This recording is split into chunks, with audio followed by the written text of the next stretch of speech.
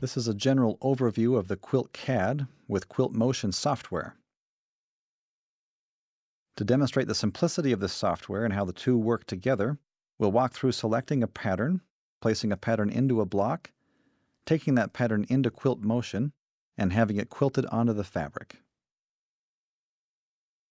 First, we come up here into the quilt area and select any particular block or blocks.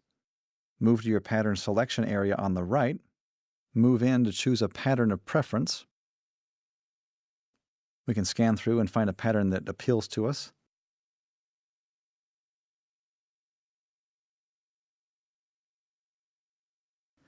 And once we've chosen that pattern, we can place that pattern into the block.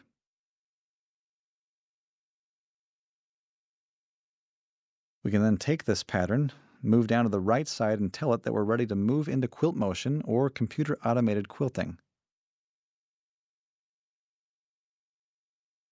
Now we can select a couple of key options. This will keep your defaults from the previous time's use, including how we want the pattern to be stitched, the number of stitches per inch, the amount of tie-offs, and the speed at which we want our machine to quilt the bear. Now we'll simply tell the software that we're ready to start the remote display. Again, it is that simple, going from pattern selection to choosing a pattern,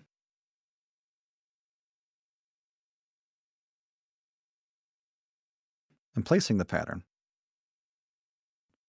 This time let's stretch it, taking that pattern going out to the computer automated system.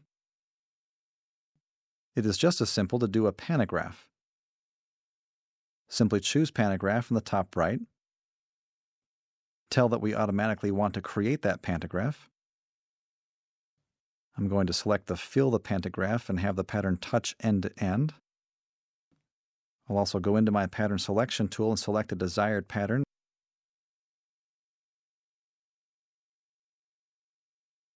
And simply take that to the computer automated process. We're ready now to go over to our fabric surface.